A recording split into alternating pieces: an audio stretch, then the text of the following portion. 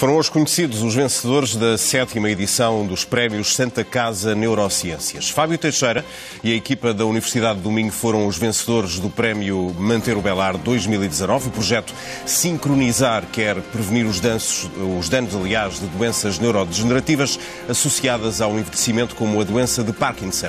Já o Prémio Meli Castro 2019 foi atribuído ao SPINE, um projeto de investigadores da Universidade do Porto, representado por Mónica Souza, foca-se na recuperação e tratamento de lesões eh, com investimento, lesões eh, das vértebras e medulares, com investimento anual de 400 mil euros. Estes prémios representam as maiores bolsas atribuídas a investigadores nacionais e têm como objetivo promover o trabalho de investigação em áreas como as biociências e a biologia celular. E os vencedores são, esta noite, Patrícia, nossos convidados. Os investigadores Fábio Teixeira e Mónica Mendes e Sousa. Boa noite a ambos, bem-vindos e antes de mais, parabéns por estes uh, prémios que foram uh, recebidos há, há, instantes, numa Sim. cerimónia que terminou há instantes. Uh, Mónica Sousa começava por si e por, este, por esta distinção que foi atribuída à sua equipa da Universidade do Porto. Em que é que consiste, em concreto, o seu, o seu projeto de investigação agora premiado? Uh, um dos grandes problemas das lesões medulares ou de qualquer lesão do sistema nervoso central no mamífero é que uh, o sistema nervoso central não é capaz de regenerar após lesão ou após doença. E aquilo que nós fizemos, esta equipa de investigação conseguiu identificar um mamífero muito peculiar, que é um ratinho africano chamado Acomis, que consegue regenerar uh, após lesão completa da medula espinal, consegue voltar a ganhar controle motor, uhum. anda e salta após lesão e também uh, consegue controlar a função urinária. Por isso, aquilo que nós agora queremos fazer, depois de termos uh, encontrado este modelo muito específico, uh, uh, é tentar perceber quais são os mecanismos pelos quais este mamífero consegue continuar a manter a capacidade regenerativa. Para ter uma ideia, hum. há apenas nove colónias de acomis uh, no mundo inteiro. São animais que são relativamente difíceis de manter em biotérios, portanto, em condições de fazer experimentação animal. E uma destas colónias está na Universidade do Algarve. Portanto, temos uma colaboração com a Universidade do Algarve que é crucial para desenvolvermos este projeto. Há essa interação. E a longo prazo, uh isto vai permitir, pode no fundo levar ao desenho de novas intervenções eh, terapêuticas para, para pacientes com, com a lesão medular. Sim, portanto, o nosso objetivo final é, depois de percebermos como é que este mamífero consegue fazer aquilo que nenhum outro mamífero faz, hum. eh, voltarmos a, a, recapitular os mecanismos que este mamífero conseguiu desenvolver noutro, como por exemplo o homem, e permitir hum. assim desenhar terapias que a longo prazo poderão levar à recuperação após lesão medular em pacientes humanos. Hum. Já o Fábio, o Fábio Teixeira e também a, a respectiva equipa da Universidade de Domingo, também hoje uh, distinguido, neste caso com o, prédio, com o prémio Mantero uh, Belard, que trabalho é que tem sido, tem, sido envol, uh, tem sido desenvolvido e como é que vai ser agora a partir, de, a partir deste momento? Antes de mais, muito boa noite e muito obrigado pelo, pelo convite. Uh, nós, nos últimos anos, temos vindo a, a desenvolver, uh, especialmente, estratégias que envolvam a, a reparação e a regeneração do, do, sistema nervoso central. Hum. A base deste projeto reside, reside, essencialmente no uso de, de, de, células estaminais, no qual nós nos temos debruçado numa, numa estratégia muito em particular, que é designado do secretoma de células estaminais. Hum. E o que é que é o secretoma? O secretoma basicamente representa todas as moléculas, digamos assim, proteínas, péptidos, que são libertados para o meio extracelular e que, de vários estudos de caracterização que nós temos uh, desenvolvido, uh, conseguimos perceber que existem alguns agentes terapêuticos ne nesse, nesse secretoma. Uh, fazendo a ponte para, para, para este projeto, o que nós percebemos foi que conseguimos mitigar alguns dos processos de, degenerativos da, da, doença, mas mesmo assim não era suficiente e, portanto, o objetivo do, do, do projeto uh, premiado é basicamente fazer uma combinação, daí o termo hum. sincronizar, uh, uma combinação entre este secretoma de células estaminais, entre dois agentes terapêuticos farmacológicos que estão a ser descritos na literatura científica como eventuais modificadores e protetores da doença e também combinar com uma, uma técnica magnética.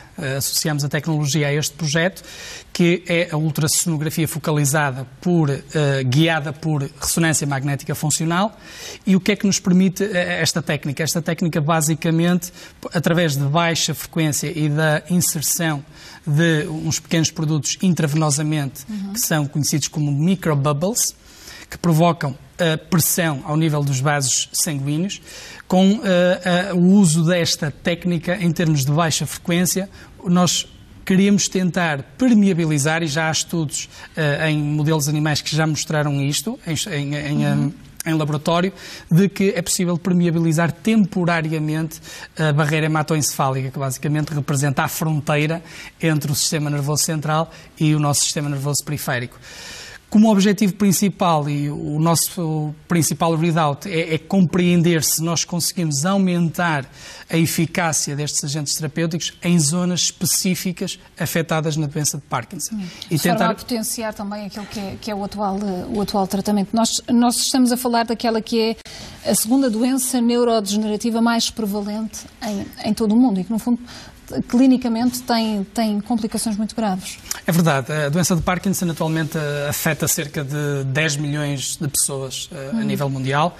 Eh, em termos daquilo que é a sintomatologia essencialmente associada à doença, é de componente motora, os tremores, essencialmente, é, é por isso conhecida como a doença dos tremores. E em termos de, daquilo que são os tratamentos que temos atualmente disponíveis, quer farmacológicos, quer hum. cirúrgicos, eles conseguem dar alguma qualidade de vida aos doentes na, na, nas primeiras, nos primeiros anos após o seu diagnóstico. Só que não conseguem travar a progressão da doença. Uhum. Portanto, conseguem mitigar os principais efeitos que surgem da perda de, de uma pequena molécula, um neurotransmissor que é designado de dopamina, eh, mas não atrasam a doença. E, portanto, o nosso projeto tem como principal objetivo uh, intervir a nível da progressão, atrasarmos ou tentarmos atrasar a progressão da doença, no sentido de dar uma melhor e maior qualidade de vida em termos de tempo aos doentes portadores de, desta doença e, com isso, também atrasar a inserção de múltiplas uh, combinações farmacológicas, que muitas das vezes são utilizadas em alguns estadios da, da, da, da, doença, ou até mesmo permitir um reajuste das doses, que em alguns casos já chega a ser muito altos, e com isso aparecem efeitos adversos,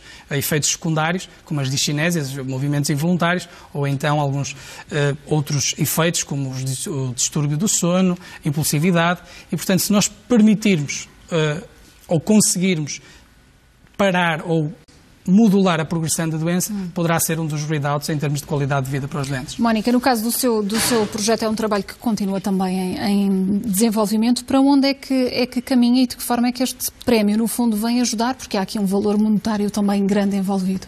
Claro, uh, uh, o valor monetário envolvido no prémio vai ser absolutamente essencial para que durante os próximos três anos a nossa equipa consiga perceber de facto aquilo que está a acontecer no ratinho africano, que lhe permite crescer os neurónios num ambiente que é um ambiente de cicatriz, portanto, normalmente é um ambiente inibitório e que nesta espécie específica não é reconhecido como um ambiente inibitório, não o será de todo.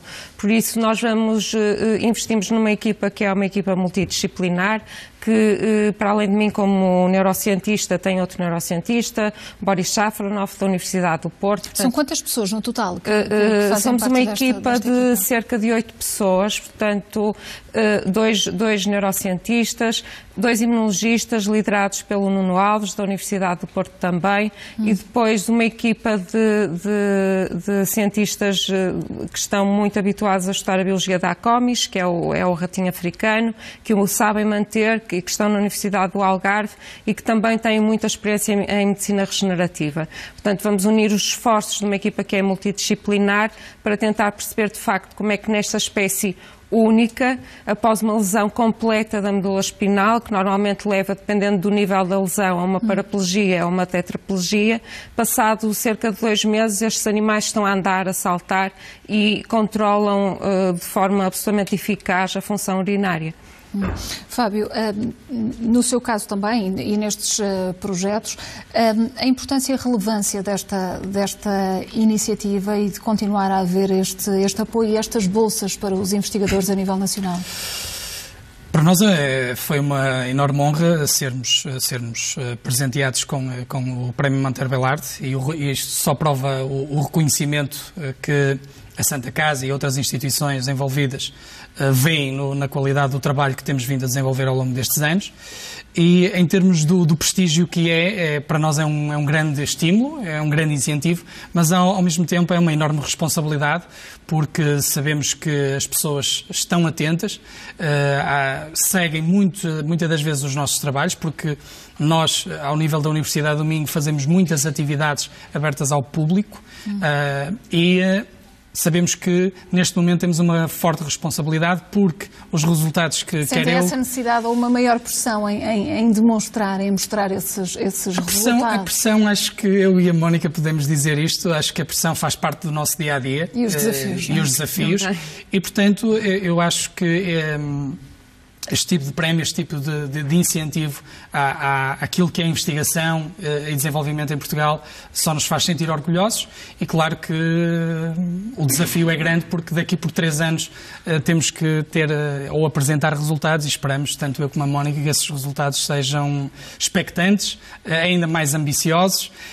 novas questões certamente irão surgir, mas para nós é muito gratificante e queremos é trabalhar e seguir em frente com os nossos objetivos e desafios e esperamos no futuro ter um impacto na vida das pessoas. Mónica, daqui por, por três anos, eh, que, que, resultados é que, espera, é que espera já conseguir, já conseguir obter? Porque isto é um trabalho muito longo, muito demorado, eh, esta, esta questão Sim, e a sua área específica no que diz respeito à investigação. Sim, a investigação, a investigação é um processo moroso e três anos podem parecer muito, mas de facto não são. E aquilo que nós uh, esperamos alcançar no fim destes três anos é termos como uma espécie de, de mapa da, daquilo que são as moléculas importantes para um mamífero poder regenerar. Portanto, daí, de, desde o momento em que nós uh, formos capazes de construir esse mapa até à sua aplicação em humanos, portanto, uhum. uh, poderá, poderá demorar muito tempo, de facto. Mónica Souza, Fábio Teixeira, obrigada a ambos pela presença nesta edição da noite e mais uma vez parabéns pelos vossos Muito projetos obrigada. e pelo trabalho de investigação que têm feito. Boa noite e obrigado. Obrigado.